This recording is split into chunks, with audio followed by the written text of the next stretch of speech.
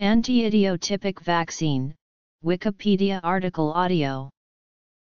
Anti-idiotypic vaccines comprise antibodies that have three-dimensional immunogenic regions, designated idiotopes, that consist of protein sequences that bind to cell receptors.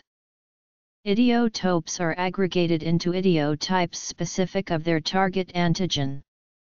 An example of anti-idiotype antibody is racatumomab. In one example of producing an anti-idiotypic vaccine, antibodies that bind tumor-associated antigens are isolated and injected into mice.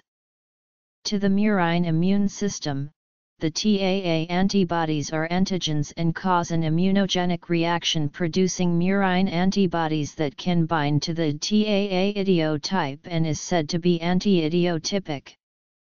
The resulting murine antibodies are harvested and used to vaccinate other mice.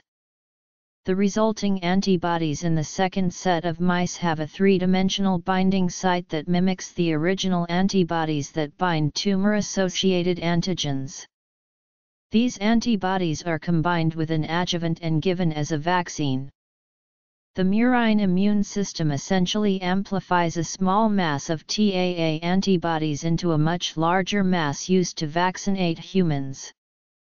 Because the antibody produced using the anti-idiotypic process closely resembles the original epitope of the antigen, these antibodies can be used to induce immune responses from cellular to antibody antigen for a given antigen, e.g., TAA, when administered as a vaccine to a human.